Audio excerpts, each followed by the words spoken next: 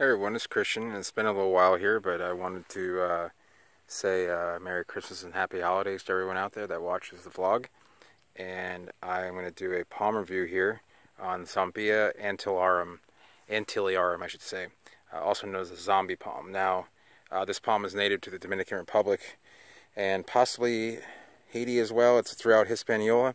Um, it is closely related to Coccothrinax, and you can see in the leaflets that it's very much has the same, uh, the fronds have the same structure. They're segmented similarly.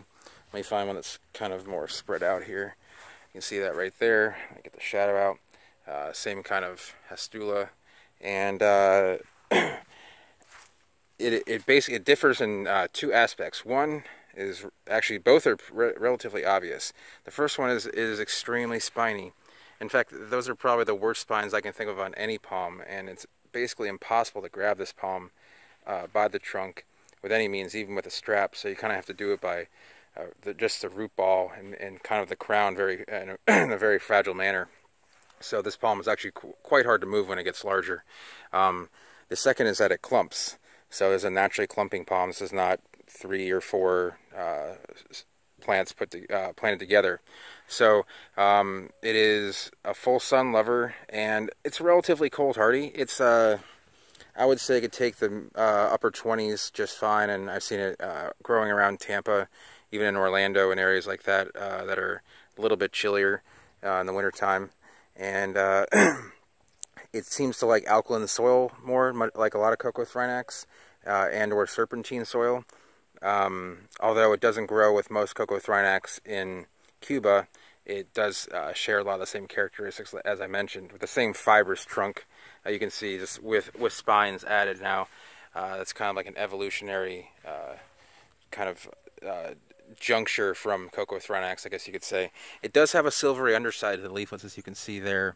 And um, it is a pretty slow grower, as I mentioned. It's it probably would this this palm's probably 25 years old.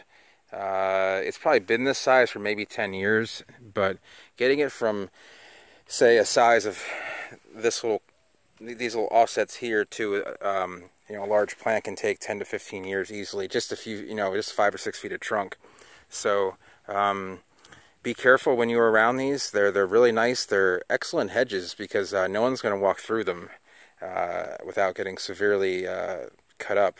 So if you want to plant them really tight uh, in your the side of your yard or the back of your yard, uh, go for it.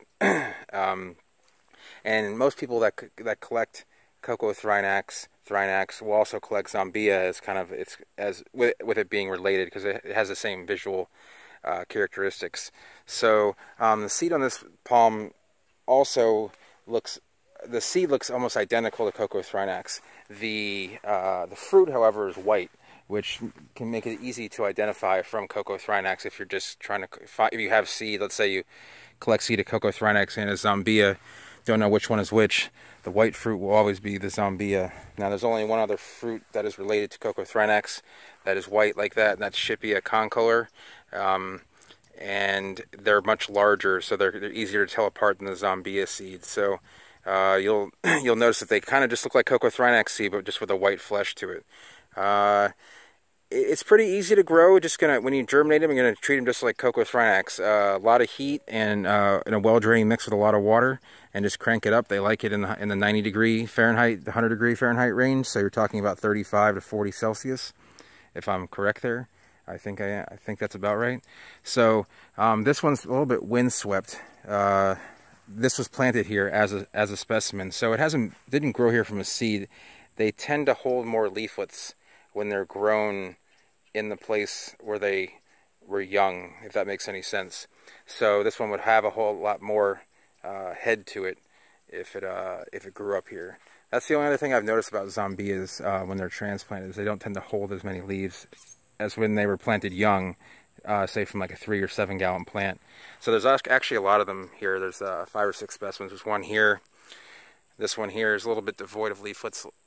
and then you have this one and three more in various condition.